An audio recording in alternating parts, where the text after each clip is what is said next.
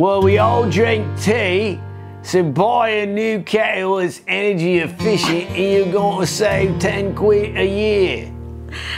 But it won't matter because you're going to freeze to death this winter. All right, y'all, welcome back to the channel. I'm Texas Dad, and this is not Matt. This is Texas Mom sitting in for Matt. And we wanted to do a, another watch along video um, because we keep hearing about this particular issue. And once again, like a lot of our topics that we continue to bring up, discuss, look at, and talk about, these are global issues that aren't exclusively here in America.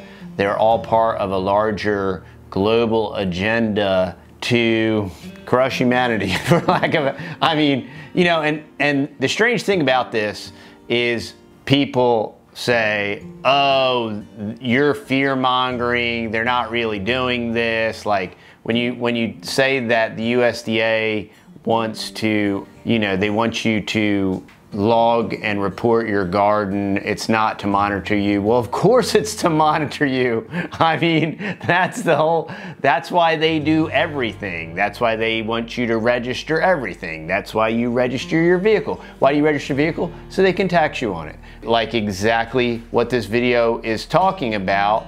If they're predicting that it's going to happen and they're saying it's going to happen, wisdom would tell you, okay, oh, so they're they're predicting that this is going to happen. Then if it's going to happen three months from now, that means I have time to prepare. Now, this specific video that we're going to be reviewing today is about energy crisis and uh, warming your home for the winter time. And if we see that it's not just happening over there, we're seeing that it's not just happening here. You know, last year we had massive power outages from our snowpocalypse. And it was a lot of that, a lot of the energy problems that we had were government generated and government made by artificial restrictions. And Texas tried to bring in the power and they were stopped. And it was a political game. And people, there, uh, millions of homes were damaged and pipes broke and stuff was destroyed. And it was all geopolitical, geopolitical shenanigans. So what did we do?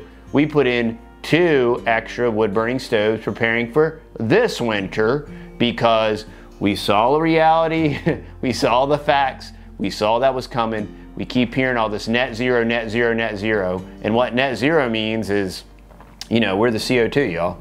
When you see information and you provide people with information, it's to educate them so that they can consume that information and respond and react accordingly. We could be like a lot of these channels and be all Pollyanna and look at this and look I'm picking these flowers and ooh ah and and, and just be all like uh, Stepford and uh, blue fleecy cloud and everything's honky-dory and great but that's not reality and we're Christians so and at the same time one we believe and we want to purvey the truth, but two, we have wisdom and we have understanding and we want to one apply it in our own lives and also share it with others. That's common sense. That's the way life was. You know when everybody went through the great depression they learned from it they came out the other side and they were it was really important for them to store food. It wasn't because they were fear mongers. I mean just the, the whole notion of uh, somebody said, "Oh, you're you're going full Alex Jones or whatever," and I mean clearly that's not the case. We're dealing with practical items, practical issues that directly impact us. So the video we want to talk about. It's a really quick Sky News video from the UK. Sky News, they're located in Australia and they're some kind of conservative news network thing. And they're talking to Nigel Farage in the UK talking about the the bleak winter coming for the UK. So let's get started. Texas Mom, did you have anything that you wanted to interject at the start of this video? No, I'm excited to see it. Okay. Well, isn't Great Britain a bit of a basket case at the moment? They still haven't come up with a replacement for outgoing PM Boris Johnson. That process has not wound up, although Apparently, all will be revealed on Tuesday morning our time. Meanwhile, the UK is facing a colossal power crisis with blackouts and widespread fuel poverty, creating a very difficult upcoming winter. With the UK relying on gas to heat 80% of all households and the supply of gas reaching emergency levels, as we know, across Europe, power bills have tripled and are predicted to go even higher. All those net zero promises by 2050 seem rather irrelevant at the moment. Joining me now, live from London, is former Brexiteer and now broadcaster Nigel Farage, who'll arrive in Australia later this month. All right, y'all. Hey, I just wanted to mention since Matt's not here, check out our website, thetexasboys.com. We have a little farm store there. We sell our things. We have coffee, tea, candles, and whatnot. We have really cool merch. We have great t-shirts, stickers, bumper stickers. So check it out. It supports us. We greatly appreciate it. We appreciate the community and all the love and all the support. We appreciate all the kind packages and all the correspondence that we have from people all around the world. We just got a package today from Australia, mate and it was far out. So we love it, and we love just being able to interact with that. We get uh, postcards and letters all the time, and it is the coolest thing. And many times it's people from the UK and Australia, and I mean, how awesome is that? And I mean, look, that's what this is all about. This isn't left or right, and this isn't like uh, this is about mankind, right? And be kind to men, right? This is about, you know, and so we don't hate you if you're in a different country, and this isn't about uh, British imperialism or anything. This is about people that want to, I mean, we're Christians, we want to honor and glorify and serve God, and uh, we want to love our neighbor as ourselves and that's our neighbor that lives next door, or that's our neighbor in Australia, you know, or that's our neighbor in the UK, or fill in the bank. That's our neighbor in China. That's our neighbor in India, you know. So, but check out our web store. We appreciate it. So, what's happened is all of these politicians and technocrats said the sky is falling. We're all going to freeze to death. We're all going to melt to death. So, we have to tackle climate change. So, here's how we're going to do it. And we're going to create, we're going to take this climate change crisis, and we're going to create many more crises from it, and then we'll react to each one of them. So now, this coming winter in the UK, because of all these um, green initiatives and all these cutbacks, and a World War III that's going on, the proxy war between the the U.S. proxy war between the Ukraine and Russia, and the restriction of gas there, um, and gas flows to uh, the UK. Now the UK is uh, dangerously short on gas, and 80% of the homes in the UK are heated with natural gas. So there's clearly, so is this fear porn or is this a fact? I mean, this is a fact. So if you had this fact and you knew it in advance and you could prepare, that would be a smart thing. That would be a wise thing. I mean, we've, we've done videos about beef shortages, and you'll get like, there ain't no beef shortage. what do you mean? Of course there is.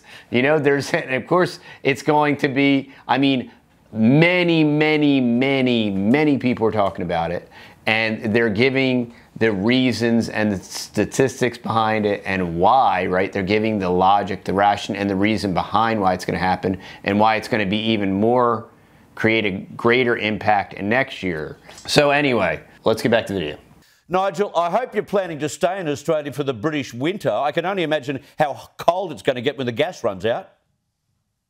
Well, you're right. I mean, it's amazing, isn't it, that for a first world country, you know, today's Sunday newspapers are full of whether we're going to have to have energy rationing or whether, if we do get a very cold winter in February, literally the lights could go out, which means no heating. Uh, it'll mean basically life will come to a stop and tens of thousands will die of cold. And all of this because 20 years ago, we passed a Climate Change Act, we updated it with this massive commitment to net zero.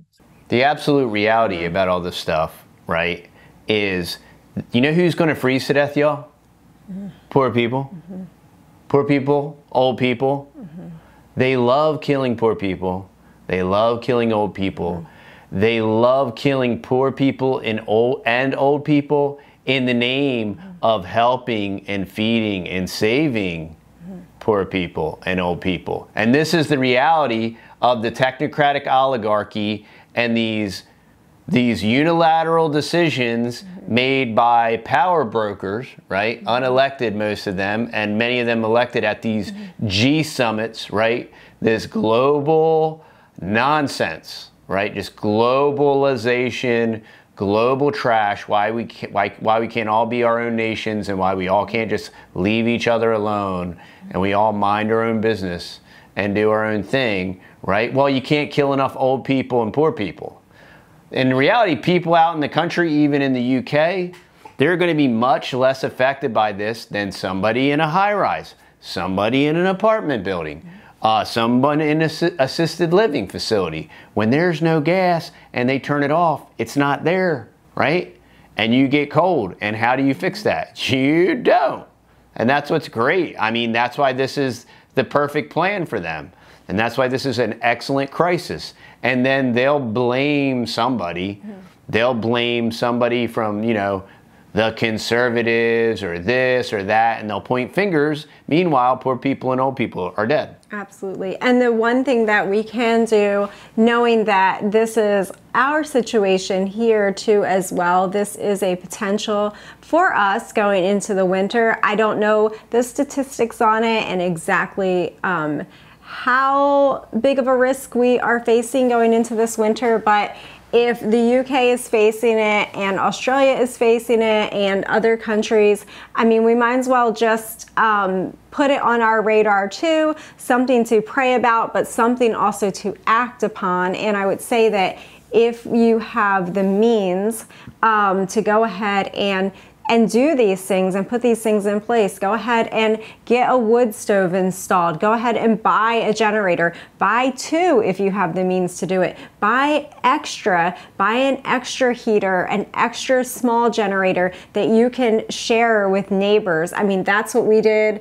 Uh, when we first moved here, we were super blessed that the community that we had moved into unknowingly, they were very prepared people.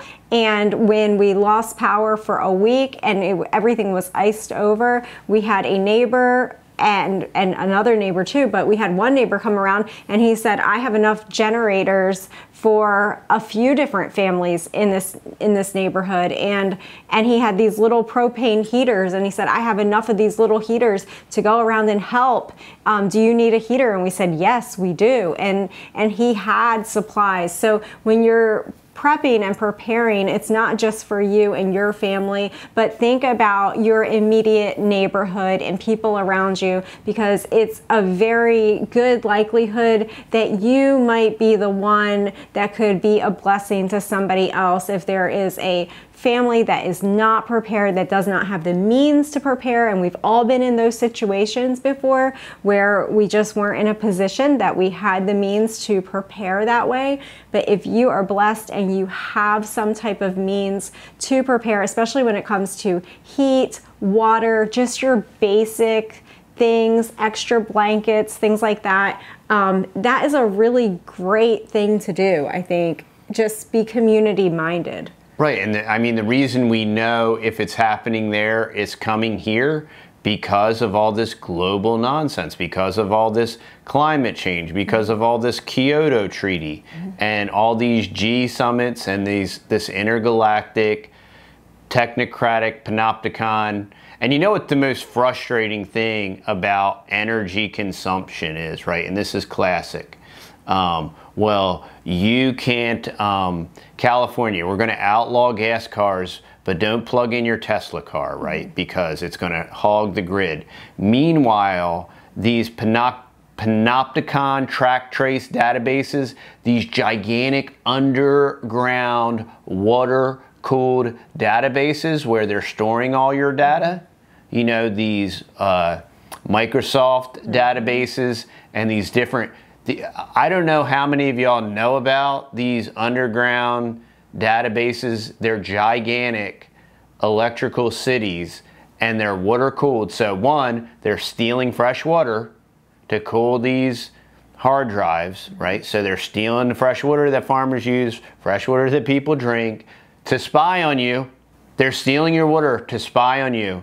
And then they're sucking all this energy and all this power to run all these mainframe databases like 1.21 gigawatts, y'all, like straight up flux capacitor status kind of power to run these things without exaggeration.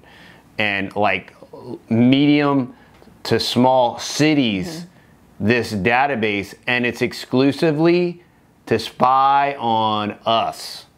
They're to steal our water so we can't drink it to spy on us, and they're stealing the power to spy on us, but all of us have to cut back. Sounds like a good video. It sounds like a really good video.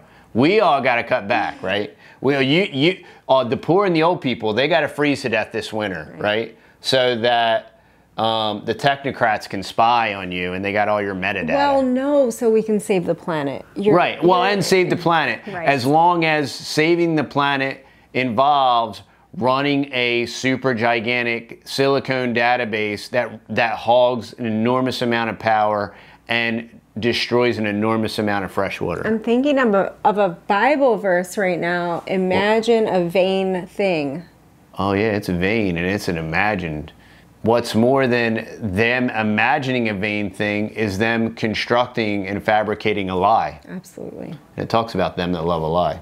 What it means to, to, to sort of meet those targets, what you have to do is close down your manufacturing, let all that go to India and China, because that reduces your CO2 output. And then with energy, build lots and lots of windmills, tax the poor, put loads of subsidies on their bills, give it to the rich, give it to the multinationals, and don't produce your own gas. Don't. Pro- this is what's insane about all this energy power stuff is China and India can do absolutely whatever they want. Period. Carte blanche, whatever they want, right? They can burn all the coal, they can burn all the gas, they can do all the stuff. They are unencumbered, nor, nor would they even care to follow it anyway, right? And so all of that is going. So the rest of us have to play by these rules, you know, that they don't have to play by, and they're not going to play by. And even if we could go net zero, they're still going to create all this pollution and do all these things. Meanwhile, all that infrastructure goes there, right? and all that get you know it's just like it's just like manufacturing right when heinz kissinger and brzezinski handpicked china to to do all that right so all the manufacturing went to china right so we could keep it here and we could abide by our own um, green standards that we have in place, which we make things cleaner and cleaner every year. Technology gets better. Absolutely. We get more efficient at things, or we can just, in the name of. Sky is falling. we must react now. We can't plan ahead.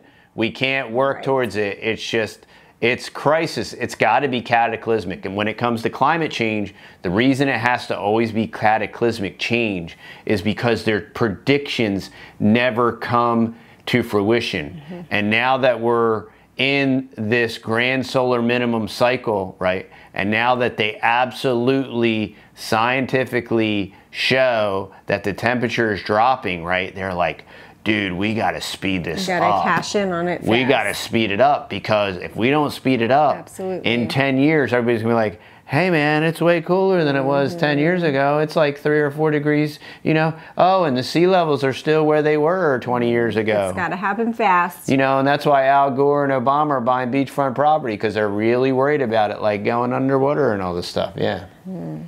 They're just a bunch of lying hypocrites, fakes that, you know, get paid. Don't produce your own coal. Don't produce enough of your own oil. That is the mess that we've got into. And the extraordinary thing is, you know, you'd have thought this was all hard left socialist stuff. No, it's the British Conservative Party. Yep. It's Boris Johnson and others that have pushed this really, really hard. And anyone that dares to stand. It's the Conservative Party here in America. They all jumped on this green thing, and even Muskerdoodle, you know, Elon Musk, who's telling you to vote Republican now to save the democracy and all this stuff. He's all straight up all on the global warming, you know, you can't be a climate change denier. You know, he wants to plug us into the AI so that, you know, well, the AI will destroy us. So the only way you can beat the AI is to merge with the AI. So we'll all go net zero and we'll let we'll farm all of our industry and all of our fuel and energy making out to other countries and we'll let them them do the nasty things and and we can pat ourselves on the back and say, look at what a great job we're doing being net zero. Meanwhile, we're cutting our nose off to spite our face. Yeah, because with all that, even if we let them do some of it, we'll only have subsidized portions of it. And so we'll be rationed, we'll be browned out, and all these other things. And it's just and it's just a shell game. It's just it's a con. It's a very long con. That's all it is. And the right look, we have a t-shirt. It's not about right and left. It's about right and wrong. And the right is in on this scam and the left is in on the scam. And the right might chirp up and be a little less on board with the scam, but they're still totally on board with the scam. So we won't sub out our food production to China, but we're going to sub out our energy production to China. But we already sub out our food production right, to China. I know, but I'm just saying that most people are like, oh, no, China, no, China, no, right, China. Right, right, Yeah. Stand up and say, hang on a second, what are we doing? Well, we are called deniers. It's the modern day equivalent of being accused of witchcraft. That's the mess we're in, and you guys should avoid it. Yeah, this is a big lesson to all of Australia. And see, we've just had an election uh, after which the left claimed victory in the climate wars. Everyone gravitated towards the independent, pushing extreme views on climate um, zeros and, and cars, petrol cars to be thrown out by 2030, all of that stuff. But the truth is, Nigel, Russia and a lack of baseload power across the world has changed this green religion incredibly. We're seeing it in Britain. A lot has changed since then. And those that are claiming victory in the climate wars need to think very seriously about whether they're happy to live a very primitive existence. Yes, I mean basically what you're talking about is not having a motor car, uh, not getting not getting on an aeroplane to go on a foreign holiday. You're talking about diminishing living standards. I mean that's actually what they want. And Yep. and uh, you know, oh by the way, you've got to stop eating beef, stop eating lamb. I, I mean the whole thing's unbelievable. But that's what they're That's what's wild about the whole thing. It's not just about, well, you can't have a car, you know, or you can't be productive, or you don't have the, you won't have the liberty to go anywhere or do anything. But like, while we're at it, uh, we're going to control what you eat. they want complete and total control. And while we're telling you about how we're going to save Mother Gaia, right, and save the earth, and oh, and obviously, if you're against this, that's because you want to destroy the environment, right? Mm-hmm. You didn't plant mm-hmm. 400 fruit trees. You don't. You don't try to use permaculture principles mm-hmm. and rotationally graze your animals and not use pesticides. You didn't do any of that stuff. No, you're you're a climate change denier, so you want to destroy the environment, and and you want to kill all the old people and the poor people, right? Cool story. what they're pushing. Now, I think once we have a proper debate about this, the settled majority will be there for common sense. And yes, uh, Putin has now put the squeeze on and has announced in the last 48 hours that the Nord Stream 1 pipeline that goes into Germany will not be reopening. So Putin has frankly got the West by the short and curlies. And the West, very stupidly, doesn't produce its own energy. Some countries can't. We in the UK have gas reserves estimated to be worth a trillion, I mean it, a trillion dollars, and we haven't as yet extracted a single barrel. So here's the problem. We get a new prime minister in the next two days. It's going to be Liz Truss, I've no doubt. Even if she says, right, I get it, let's become energy independent, it'll take a couple of years to get there. So goodness knows what happens between now and then. What a terrible, horrendous two years you'll face. Do you think, though, she's heading in that direction? Has the, the, the penny dropped for Liz Truss? Well, she says she's still committed to net zero, um, but we must produce more of our own energy. It's at least a step in the right direction. Um, all that Boris Johnson recommends is that we all buy a new kettle because it, it'll use less electricity and save us 10 quid a year. What a legacy for a British Prime Minister. Let's see. I am certain there'll be very, very strong pressures How classic is that? You know, that's a politician before you. Well, we all drink tea, so buy a new kettle that's energy efficient and you're going to save 10 quid a year. but it won't matter because you're going to freeze to death this winter. Oh my soul. I mean, I would I would definitely say on the more practical side, if at all possible, look for some heating alternatives. Um, this is for our friends in Australia. This is for our friends in the UK. We know we have people all over who watch our channel, um, of course, for us in the US as well. Um, and that's what we said. Like, we went out this summer and we got two wood stoves while they were still available because we learned our lesson that and last they, and, winter and they weren't available. Right. The generators weren't available. It was a it was a frenzy. Well, not only that, they weren't that available when we got them. We had to wait for them, and we got them in the springtime Yes. Well, you don't need them till the wintertime. Why would you get them mm-hmm. so early? Well, yes. because you plan ahead. That's why. Absolutely. And we had to order them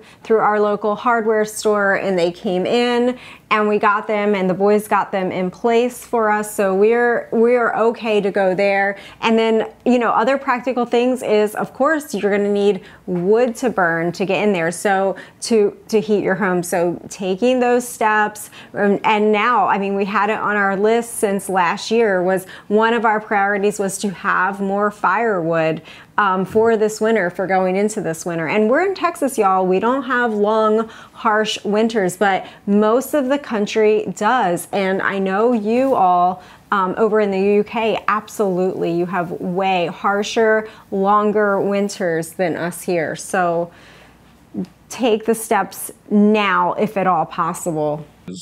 Within Westminster, within Whitehall, within number 10, to try and stop her going for genuine energy exploration.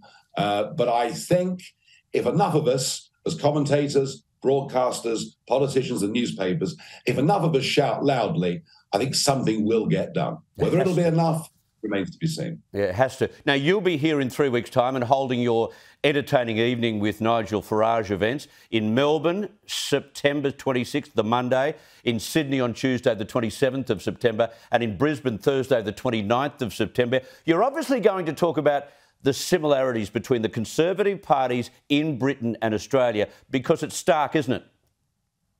Oh, absolutely. I mean, in fact, right across the English speaking world, we face the same challenges, we face the same problems, uh, and kind of, you know, the capital cities seem to infect the brains of so called conservative politicians. They all seem to move to the left. They all seem to move to the centre. They all seem to become Labour light, and then they're surprised when they lose elections. And the lesson I've learned certainly from the Conservative Party, when I, I kicked them hard again and again and again. And in 2019, they actually stood on a genuine Conservative manifesto. And guess what? They got the biggest majority since Margaret Thatcher. Uh, and, and the same applies in Australia, the same applies elsewhere. It's no good being Labour like. If you're conservative, be conservative. Reduce the size of a state. Give people incentives to set up their own businesses. Get the dead hand of government off the backs of people. And, and, and that's what needs to be done. And, you know, look at the lockdowns, look at what Australian people were made to go through. Um, now, I know a lot of this was the fault, of course, of the local states, but actually, did Scott Morrison stand up for liberty during the pandemic? Well, I think we know the answer. One quick one. What do you think Boris Johnson will do now? Not that you'd probably care, but what will he do? Oh, he'll be in America. He'll be in America. I mean, look, you know, whatever his flaws, he is actually rather fun. He is entertaining. Yeah. And after a few glasses of wine, he gives a very good after dinner speech. he will go and he will make millions. He will entertain and amuse people. Uh, and then he may consider a comeback because I think I think the British Conservatives, unless Truss can really turn this around, they're heading for an absolute walloping at the next general election. And who knows? Boris may try to come back. We'll see you soon. So you see, so this whole left-right paradigm, this two wings of the same foul bird, like, oh, they stood for these real conservative things and they had this red wave and it was great, but now they're going to get walloped. It's just the same cycle of this uniparty thing, and that's he, what he is explaining is the uniparty. It's the same thing we have here.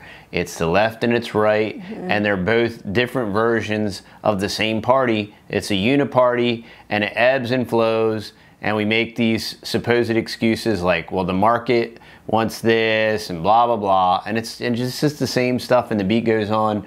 And meanwhile, now there's not enough power, there's not enough gas, and old people and poor people have to die. And that's always the solution is, well, I mean, and really when you think about it, they're all Malthusian and they don't, there's, there's too many people. I mean, how many comments do we get all the time? Well, there's too many people on the planet.